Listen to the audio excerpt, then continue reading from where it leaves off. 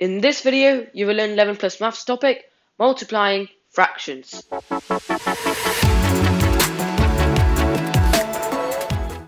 Welcome to another video. If this is your first time here and you want to master 11 plus exam techniques to land in your dream grammar school, start right now by subscribing and clicking on the bell so you don't miss anything. Before we start this example, if you guys want to know more about fractions, I've got a playlist on fractions, so go check that out.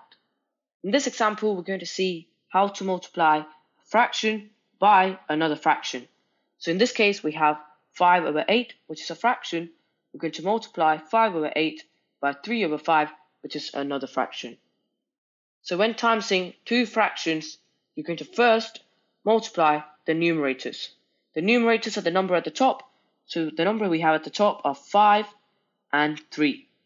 So 5 times 3 is going to give you 15. So that's step 1, and we can now move on to step 2. So step 2 is to multiply the denominators. The denominators are the numbers at the bottom. So in our case, we have 8 and we also have 5. So 8 times 5 is going to give you 40. So now, we know that 5 over 8 times 3 over 5 gives you 15 over 40. The final step is to simplify if you can. So in 15 over 40, we know that both 15 and 40 are both multiples of 5. So therefore, we can still simplify. So this means all we have to do is we're going to divide 15 by 5 and divide 40 by 5. So 15 divided by 5 is going to give you 3 and 40 divided by 5 is going to give you 8. So the fraction for this example is 3 over 8. If you guys want to know more on fractions, I've got a link in the description below and in the comments section below. So go check that out. Now let's have a look at this example. And in this example, we're going to see how to multiply a fraction by a whole. So in this case, we have 4 over 6, which is a fraction, and we're going to times this by 7, which is a whole number. So the step 1 is going to be to convert the whole number, which is 7 in this case, into a fraction. But before we do that, let's rewrite the question.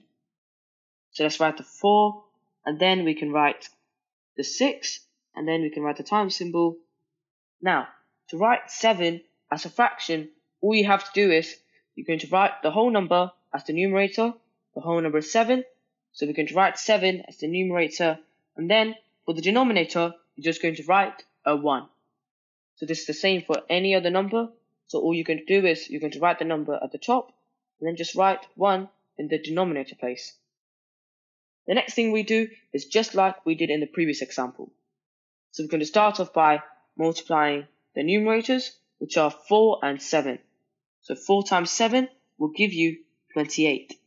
Next, we're going to multiply the denominator 6 and 1. 6 times 1 will give you 6. Right now, we have 28 over 6. We know that both 28 and 6 are multiples of 2. So therefore, we're going to simplify and we're going to divide by 2. 28 divided by 2 and 6 divided by 2. We know that 28 divided by 2 will give you 14 and we know that 6 divided by 2 will give you 3. So right now we have 14 over 3. If needed and if you want to convert 14 over 3 into a mixed number, so you're going to get 4, which is going to be the whole number, and then you will get 2 at the top, and finally you will get 3 at the bottom. So you will get 4, 2 over 3. If you guys are wondering how I did that, well, I've got a video on how to convert improper fractions into mixed numbers. So go check that out. Now let's have a look at this example and let's see how to multiply mixed numbers. So the example we have is 1 1 over 5 times 1 6 over 7. First thing we're going to do, we're going to convert both of these numbers into improper fraction. So 1 1 over 5 as an improper fraction is going to be 6 over 5. And then 1 6 over 7 as an improper fraction will be 13 over 7. Step 2 is to multiply both of these numbers, so 6 over 5 times 13 over 7. So that's step 2, multiplying both of these fractions. And then the final step is to work it out. So 6 times 13 is obviously going to give you 78, so we can write that down. And then 7 times 5 will give you 35. So we have 78 over 35. And the final step is to convert 78 over 35 into a mixed number. And when converting 78 over 35 into a mixed number, you will get 2 as the whole number, and then 8 as the numerator, and finally 35 as the denominator. So we get 2, 8 over 35 as our answer. Now to learn more on 11 plus maths, click the video on the right.